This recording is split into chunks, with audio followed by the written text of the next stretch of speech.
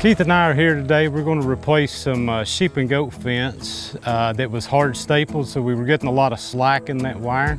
They've done a great job on their braces, built good uh, braces at eight feet, and then uh, hard stapled the wire. So as those animals and the livestock would rub on the wire, they were seeing some issues with slack pulling through the hard staple. So what we're going to do is we're going to come in and strip our wire back, wrap around our end post and get a good tie back into itself using T-clips. Guys, I know it's a time saver and, and we see it quite often, but hard stapling the fabric to your corners is, is never a good idea. This, this high tensile product needs to be tied. Um, it'll save you a lot of time in the long run. It'll save you a lot of repairs. But like Van said, they've got really good, strong braces, and that's the backbone to every fence. So we're just gonna show you guys a little demonstration about this, this sheep and goat. Um, it's the Bekaert S-Knot. All right, we'll get this wire stripped off and get ready, and we'll show you guys how to use the T-clips here in just a second.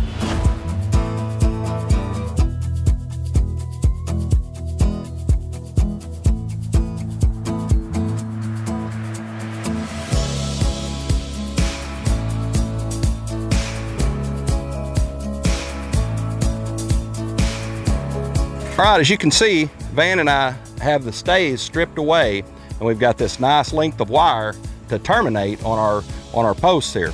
Uh, like we always say, good braces and posts are the backbone of every good fence build. And uh, the braces are in really good shape. And Van, what do you think the, the T-posts are on here? Uh, we definitely want a good backbone. These here is probably in 10, but you want to stay inside of 12 feet. And we're using a combination of T and wood today. It's definitely fencing's a big investment and uh, you know just a little extra money and a little extra time can make all the difference. I mean this guy uh, they hard stapled, the wire slipped, it got loose, the, the animal pressure has been has leaned the T-posts over.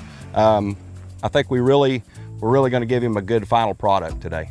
All right, we'll catch up with you guys here in just a minute. We're going to terminate this end and get the wire rolled out and we'll be ready for the install.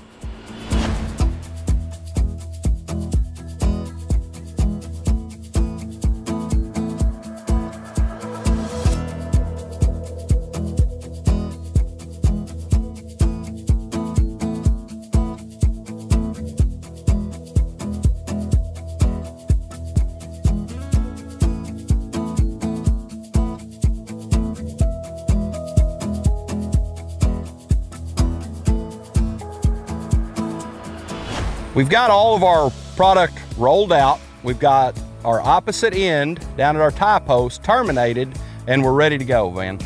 All right, we're gonna get our, uh, get our fabric in our stretcher bar and then we're gonna start tensioning. So we'll just lay the fabric up into the bar.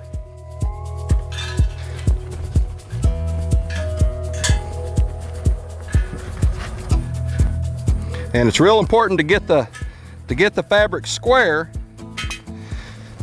and there, every line wire needs to be under a wedge. If, you don't get all the wires under the wedge, you're gonna have slack wires in your fence.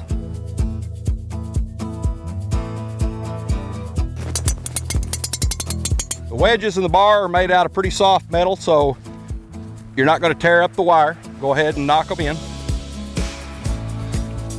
Then I'm gonna roll the fabric back away from our bar.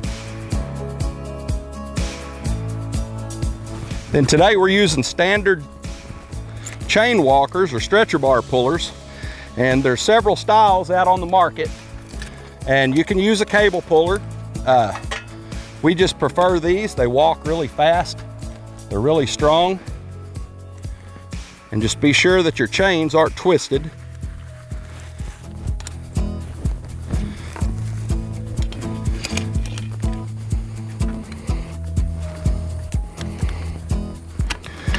Then they just run down the chain.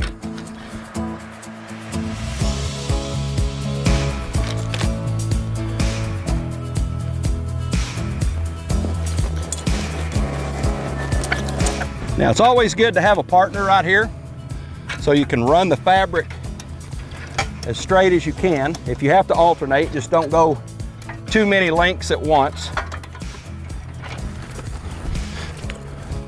All right. So we got a little bit of a rise right here in our bars, trying to dig in just a little bit, but I think we will be okay.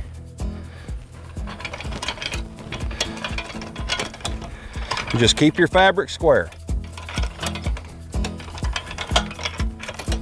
As you can see behind me, the fabric's already starting to stand up. So we're getting tension on the fence. And everybody, it's very important on high tensile to never stretch the fabric.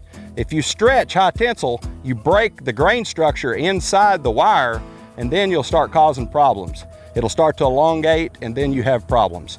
And that's the beauty of high tensile. It just needs to be good and tight. If it's tight, it'll maintain its integrity through the heating, through the cooling, and you won't get slack wires unless something gives. So I think we're gonna go a little bit more. We've got quite a bit of flex in it. We wanna take some of that out. What you never wanna do is take away more than half of the height of these tension curves. And I like about four to six inches of flex between my posts. We've got a good snug fence. We'll tie it off and we should be good to go. We've got a good level pool here, Keith. That's right. When you're working through rough terrain, how do you kind of watch that as you go through on this? So I will always leave my stretcher bars and my pullers in, and then I will go back to my high points, secure my high points to the posts, and then pull down into the lows. That way, if I've got the fence a little too tight, or I need to take up a little more, I can tell when I go to pull that down in. But you're right, we've got a good flat pull here today. All right, guys, we're gonna strip a few knots off and uh, we'll get this terminated and we'll get back with you guys and trim this fence out.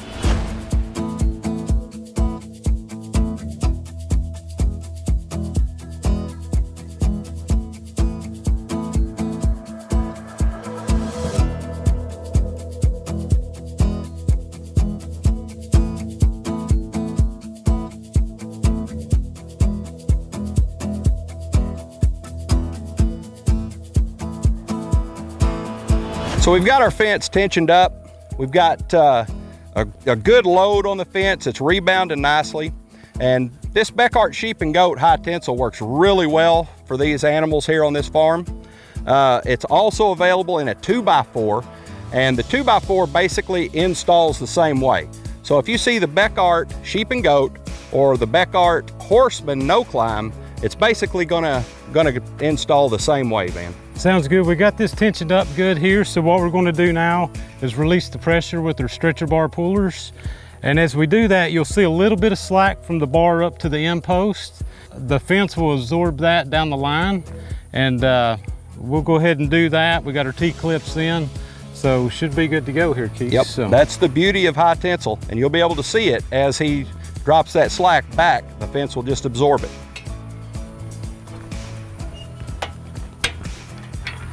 And you can see wow. we've lost mm-hmm. less than one link. Yep. And that that little bit of slack that was left between the bar and the post has absorbed back into the fence.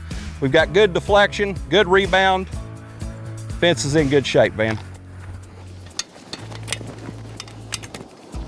Okay, Van's releasing that stretcher bar. Time to just knock the wedges out.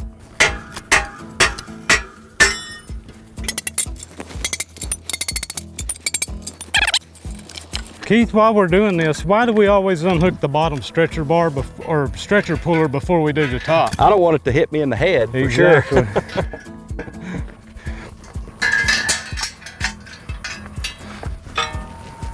All right, we're gonna use the, uh, the Bekaert Speed T-post clips and the Delfast power stapler and show you guys how we'll trim this fence out. So first part of trimming this fence out, like Van said earlier, we've got T-posts, we've got wood posts, and uh, we're gonna use the zinc aluminum coated clip from Bekaert. And it's a T-post clip. It uh, wraps around diagonal around the T-post and then spins up with a drill chuck that you put in your cordless drill. So just simply put the fabric up, cross it, bring the clip over to the web, and then place it inside the chuck and then just spin it up. Just breaks one end off. You can come back with your hammer and just knock that down. Nothing will ever get against it. So we'll continue on down the fence getting this. Uh, we'll get down to the line posts and we'll try out the new Delfast power stapler.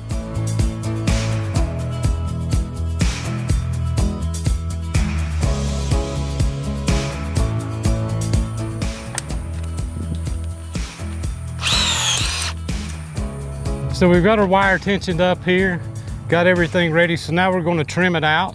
So the way we're gonna do that on these wood posts is use our Delfast. It's got an easy adjustment for your depth gauge on it, tool free. And um, so easy to use. We'll go ahead and staple this wire up here.